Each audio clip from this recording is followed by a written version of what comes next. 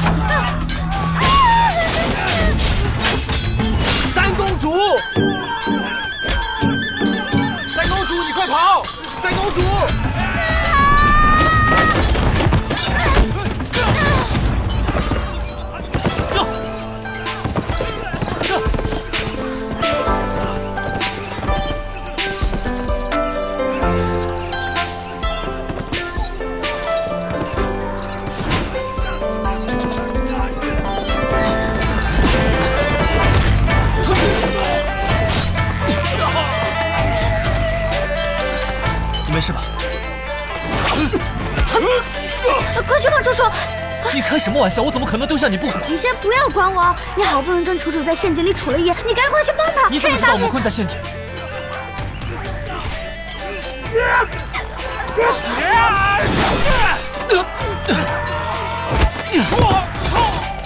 他说你有没有事啊？子睿，你疼不疼啊？现在先先躲起来。啊！是，他说快去，你疼不疼啊？快去！他说。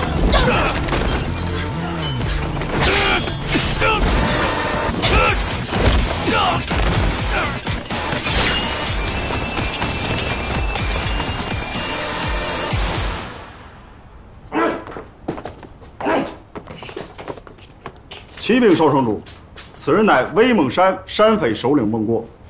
威猛山位于花园玄虎两城交界之处，是往来商队的必经之路。孟过占据此山，拦路抢劫，过往商队苦不堪言。现已将其擒获，如何处置？韩硕，赶紧求情收下他吧。原剧本里孟过可是你麾下一员猛将，既然抓住了，就将他杀了。母亲派我们此次前来，就是为了解决此事。这这这这怎么说着就要杀呢？多吓人啊！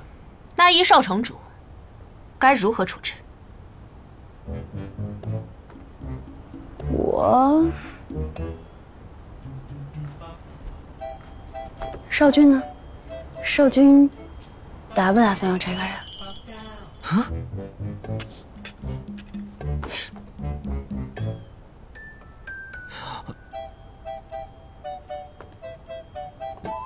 也好，那就留着此人，留在。大丈夫士可杀不可辱，可惜我功败垂成，要不然就将他押到我山上做押寨夫人。风流快，把老子横幅拿来！横幅呢？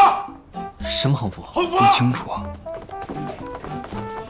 生擒少城主，霸占陈芊芊。那就把他砍了，砍了！不是你你你不要了！威猛山的人马狂，不要他呀！此人对你包藏祸心。那你你不要，我要。孟国居心叵测，占山为匪，迫害百姓不说，还想把你押回去当压寨夫人，你简直痴心妄想！我有一个灵感。孟过这个名字啊，我突然想起来一个典故。哎，你没有听说过？哎呦我！谁啊？你们你们有听说过那个诸葛孔明吗？此为何人？一个军师要把他请来吗？啊，不用了，有我在就好。把把他放了吧。为啥？我要放你，你还问我为啥？等着被砍呢？要杀便杀。我今日就是带了一小队人马前来刺探军情，看你军营空空空虚，我才来突袭。可惜，你砍了我也行，我威猛山兄弟定会报仇。那，你你们听到了吗？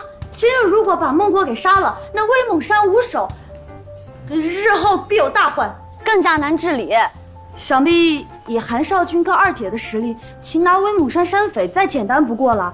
但现在重要的是，我们要让他们改掉这种侵犯他人私人财产的行为，说服他们，为我所用。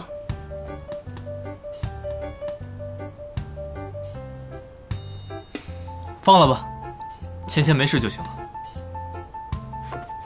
快点！我自己会走。让！哈哈哈哈哈！三位此举可有把握？有，七擒孟过嘛，七抓七放，必定心悦诚服。